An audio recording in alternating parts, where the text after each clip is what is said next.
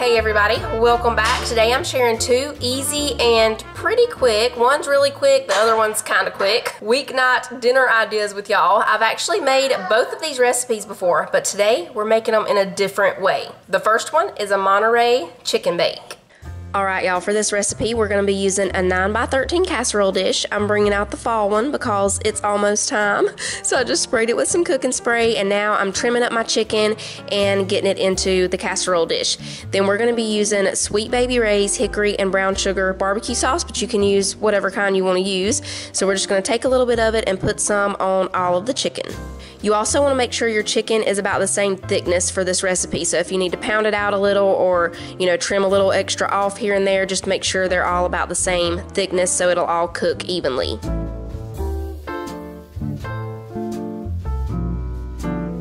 So once we got the barbecue sauce on there, now we're gonna put the bacon. This recipe specifically said to use thin cut bacon because we're cooking it in the oven with the chicken. You could do this differently and cook the bacon first, that way you'll get extra, extra crispy bacon.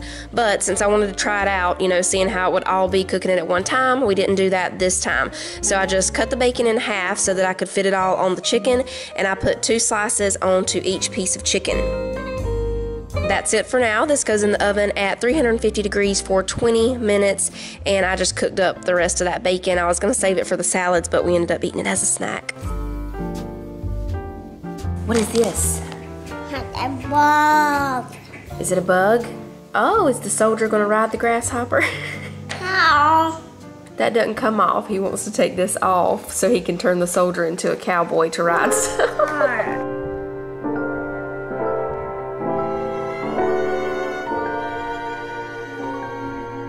Okay, so once the chicken had been cooking for 20 minutes, I went ahead and turned the oven on to broil to really crisp up the bacon on top. While that was going down, I shredded up some Colby and Monterey Jack cheese.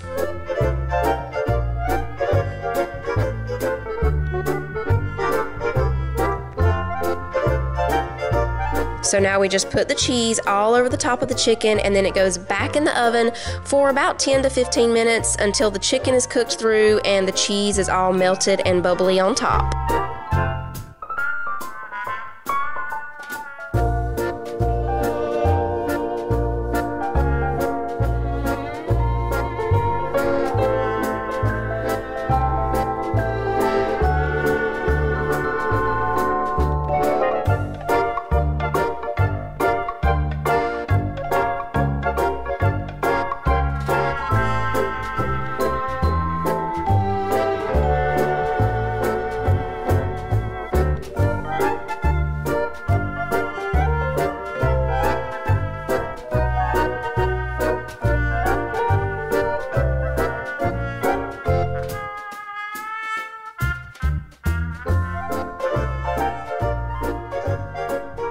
Okay, so this one, very, very good. The house smelled amazing while it was cooking because that Sweet Baby Ray's hickory brown sugar barbecue sauce totally smells a little bit like McRibs. And so the whole time I was feeling fall because that's when McRibs come back to McDonald's, you know. I was feeling fall and feeling McRibs. Almost wishing I had made McRibs that night. You know, we did those copycat ones that were pretty good. Not the first ones, but the second ones. If you missed those, I'll link it down below.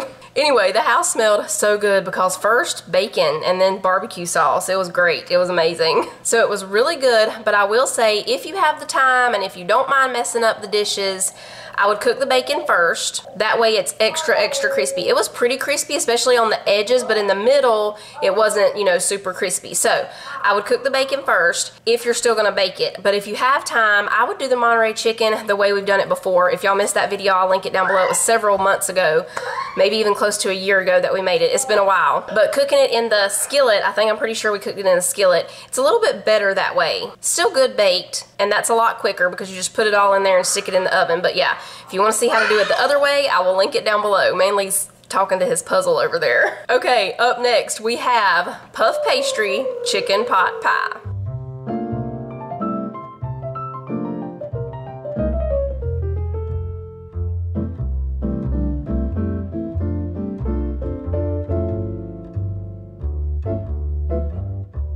Good afternoon, everybody. I am about to go ahead and get this puff pastry ready for the puff pastry chicken pot pie tonight. Manly's taking his nap right now. some of the kids are still finishing up their schoolwork. So we're gonna go ahead and get this part done. So what we do is unroll the puff pastry. I sat this out this morning so that it could thaw. It was in the freezer, you know. So it's been sitting out and it is ready. What we're gonna do is roll it flat a little bit. It's already flat, of course, but we need to roll it out a little bit more. We're gonna make it in a 9 by 13. So when I saw this recipe, um, they made it in an oblong baking dish. But I'm gonna make mine in a 9 by 13 so I can make, you know, a little bit more. I'm just gonna use this pizza cutter. We need to get five strips here. So I am just gonna slice off this little bit on the edge. Now I already have my marks where we're gonna slice it, so I'm just gonna go all the way with it. So what we're doing is we're gonna make like a puff pastry lattice on top of the chicken pot pie. So now I'm gonna take these and set these over to the side. Now we bring over the other one. And this time I think I'm gonna put down just a little bit of flour same thing, we're just gonna roll this one out. I am gonna try to keep this one, somebody sharpening a pencil. I'm gonna try to keep this one in the rectangle shape a little better. And we need to get six strips out of this one instead of just five.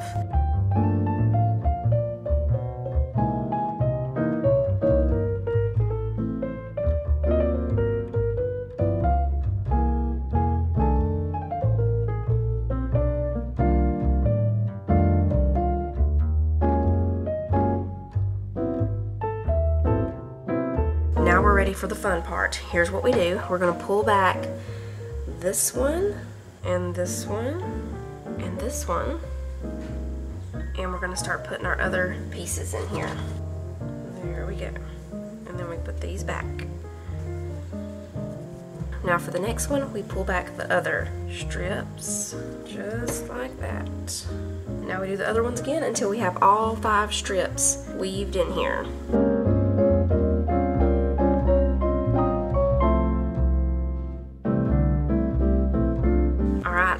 That's it. Now we're just gonna take this and put it in the freezer while we make the rest of the chicken pot pie.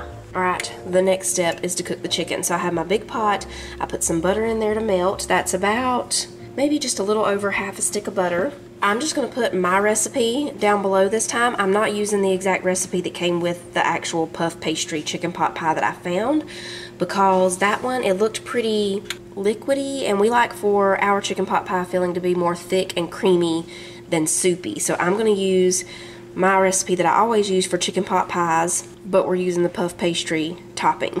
So we're going to let the butter melt. I will link that other one down below though, in case you like your chicken pot pie filling to be more soupy, then you might like that one better. So I will link that one down below. Okay, when the butter melts, we're going to dump in the chicken. I'm using chicken tenderloins this time, but you can use any kind of boneless chicken that you want to use. You could also use pre-cooked chicken. If you use pre-cooked chicken, then you can skip this part of cooking the chicken and go straight to cooking the onions and carrots and all. And then you would just shred up your cooked chicken and add it in at the end whenever we add the chicken back in. Since I'm doing a 9 by 13 I'm using almost 3 pounds of chicken. And I just chopped it up into little bitty chicken pieces, like little bitty baby chicken nuggets. So now we just cook the chicken until it starts to brown. It doesn't have to cook all the way through. It probably will pretty much since I did such little pieces, but it doesn't have to cook all the way through because when we add it back in later, then it goes in the oven for about 35 to 45 minutes. So we're mostly just wanting to brown it on the outside here. While it's doing that, we're gonna go ahead and get the onion and carrots ready and garlic. We're also going to make some celery a little bit later, so I'm going to go ahead and get that chopped up.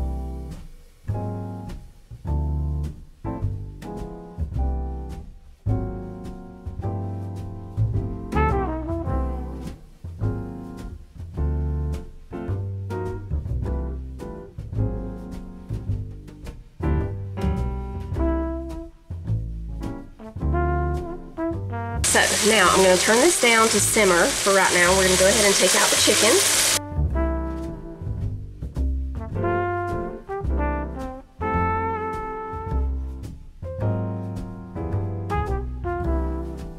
Now we put in the onions and the carrots and the garlic.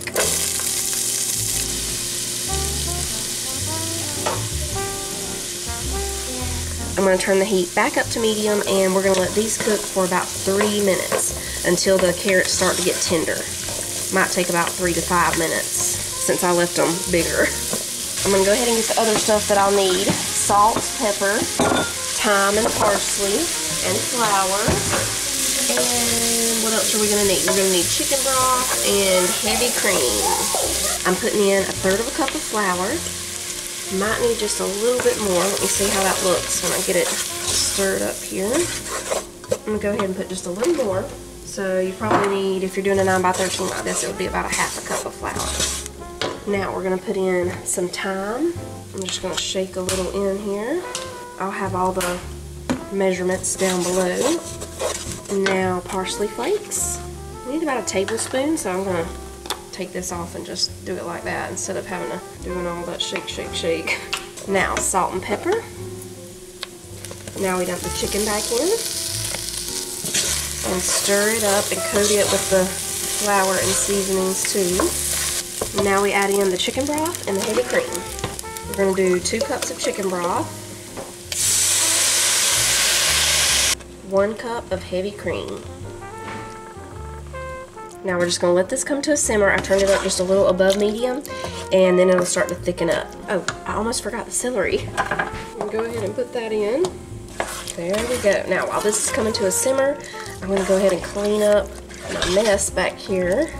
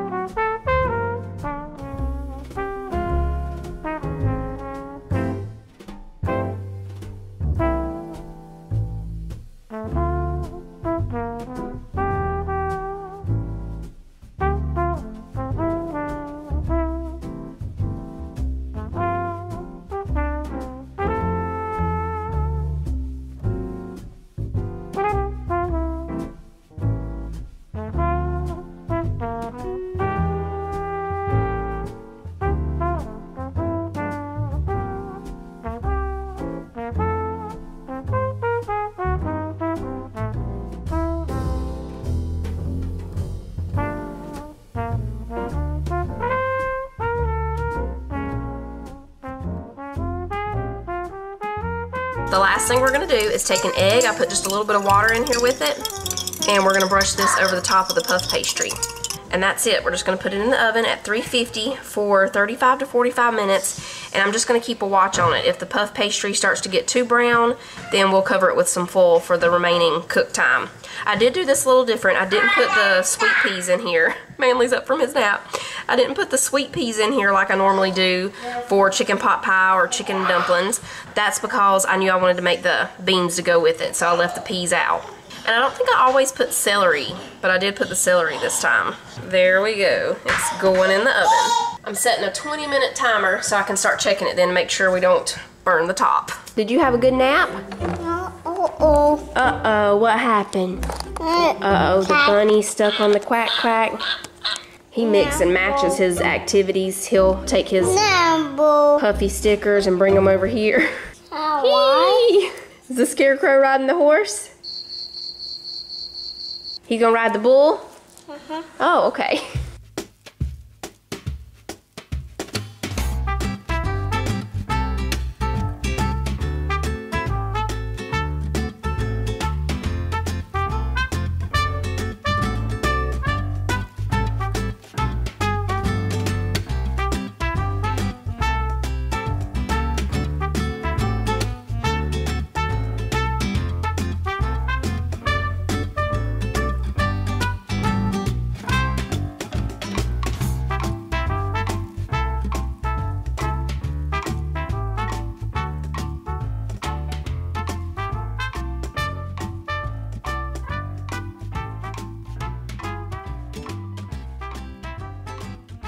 There are no words for how good this chicken pot pie recipe is. It doesn't matter if you put puff pastry on top. It doesn't matter if you put a pie crust on top.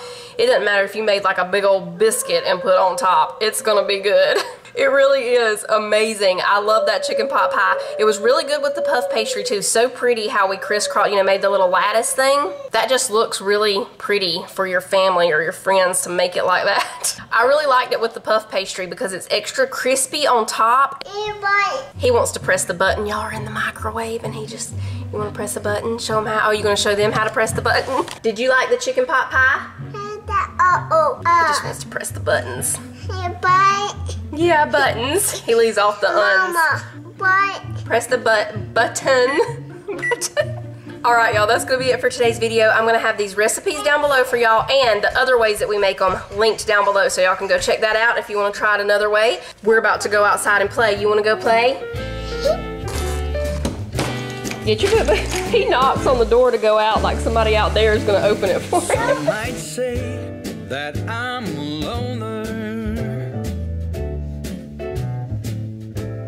but I just call it